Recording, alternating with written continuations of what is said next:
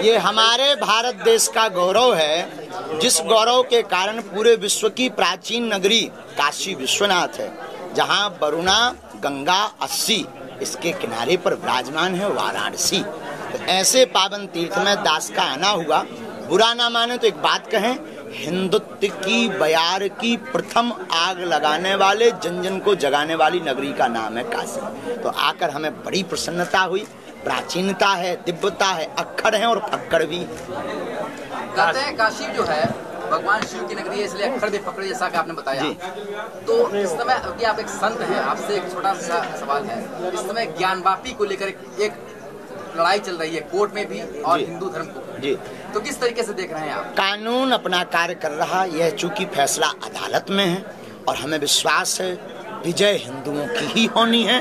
भोले बाबा निकल चुके हैं। जगह जगह भोले बाबा व्याप्त हैं पूरे कण कण में। कण कण में शंकर है, उसमें कोई संशय नहीं है। और ज्ञान बापी में भी शिव जी निकलेंगे। अभिषेक हम आप करेंगे और आप भी कामना करो कि हमारी आयु इतनी लंबी हो कि हम भी उनको जल चढ़ा सकें। विश्वनाथ धाम बनकर तैयार हुआ है, प्रधानमंत्री ने विस्तारीकरण किया है। किस तरीके से माननीय प्रधानमंत्री जी को साधुवाद देश का राजा जब आध्यात्मिक होता है तो पूरा देश आध्यात्मिक हो जाता है। ये देश का सौभाग्य है कि हमें एक ऐसा राजा प्राप्त हुआ है, जो आध्यात्मिक है और शिव का पुजारी है। निश्चित ही पूरा देश शिव तत्वमय शिव तत्वमय होगा और पूरे देश का कल्याण होगा। और अद्भुत कॉरिडोर की सुंदर व्यवस्था विश्वनाथ जी के यहाँ की अद्भुत व्यवस्था बहुत हृदय गदगद सदियों बाद माँ गंगा और काशी विश्वनाथ का मिलन हुआ है। जी बिल्कुल बिल्कुल कोई संशय नहीं। सदियों बाद हुआ है। लेकिन ये भी तब देखो सेतु का कार्य कोई ना कोई करता है। रावण उस तरफ़ था राम जी इस तरफ़ थे। वहाँ विभीषण रहते थे। वहाँ भक्तों को मिलने के लिए राम जी को जाने के लिए सेतु का निर्माण करना पड़ा। सेतु का अर्थात है पुल। उसी प्रकार माननीय प्रधानमंत्री जी सेतु बने हैं गंगा और विश्वनाथ के मिलन के लिए। 2024 में मकर संक्रांति के दिन रामलला विराजेंगे। जी बिल्कुल आएँगे। रामलला आ चुके हैं रामलला विराजमान होंगे और फिर काशी का जय जयकार होगा और अभी मथुरा छोड़ दिए हो आप। मथुरा में भी होना है।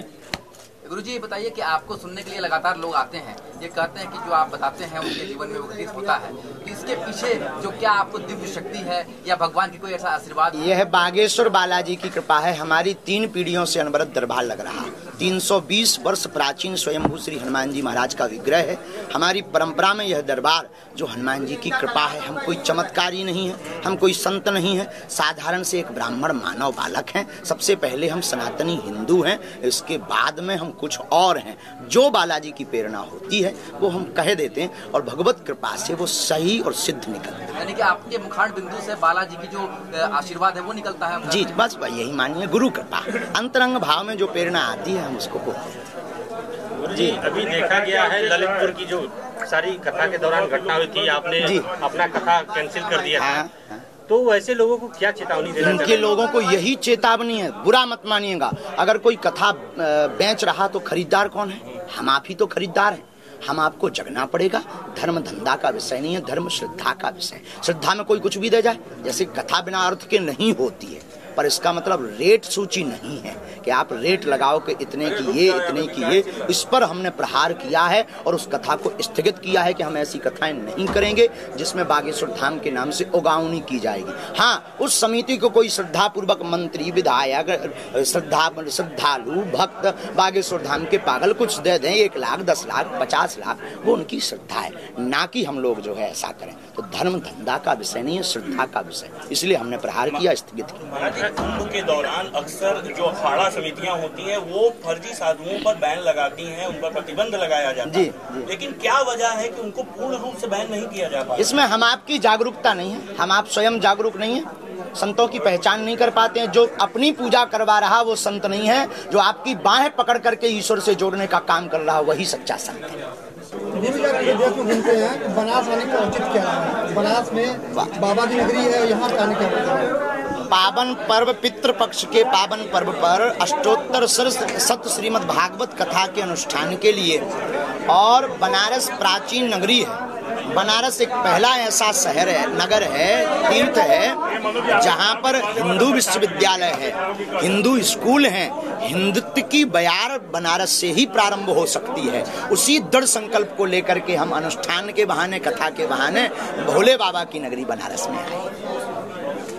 कितने दिवसीय कार्यक्रम है सप्त दिवसीय कार्यक्रम है। 11 सितंबर से 18 सितंबर तक यह आयोजन है और इसमें 200 ब्राह्मण अनुष्ठान कर रहे हैं। अनुष्ठान तो पितरों के निमित्त है पर गुप्त रूप में हमारा ध्येय था कि सनातन से पूरा विश्व जुड़े इसलिए ब्राह्मणों को अनुष्ठान पर बैठाया। क्या कार्यक्रम है भागवत? मूल पाठ श्रीमद भागवत कथा का आचार्यों द्वारा वेदी का पूजन प्रतिदिन पितृ तर्पण त्रिपिंडी श्राद्ध 18 सितंबर को श्रीमद भागवत कथा का दिव्य और भव्य आयोजन दो दिवसीय 13 और 14 सितंबर का भव्य दिव्य बागेश्वर बालाजी की कृपा का दरबार।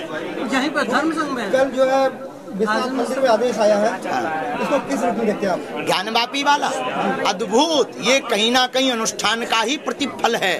बागेश्वर बालाजी की कृपा का और विश्वनाथ बाबा की कृपा का प्रतिफल है। ज्ञान वापी का फैसला हिंदुओं के पक्ष में आया और वो तो पहले से ही पक्ष में था। बस यूँ ही कुछ कई बार सूर्य को दबाने के लिए जो बादल आ जाते ना वही काम ये कर रहे थे। अब वो बादल हट रहा है। सरकार सनातनियों के पक्ष में है। हो गया भाई? ठीक ठीक। सर सनातन धर्मियों को आप फिर जागृत कर रहे हैं उनको जोड़ने का कार्य कर रहे हैं। कैसा आपको लग रहा है? जातिवाद मिटाओ सनातनीय हिंदुओं एक हो जाओ। यही जगाने का उद्देश्य है। Radhe Radhe.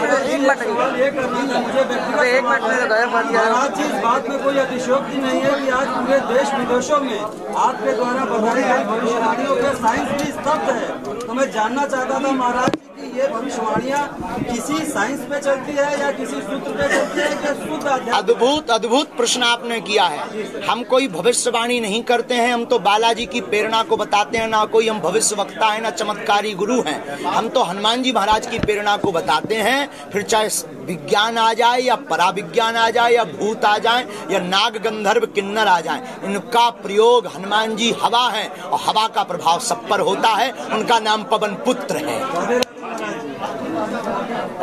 Ağır güç. Hara hara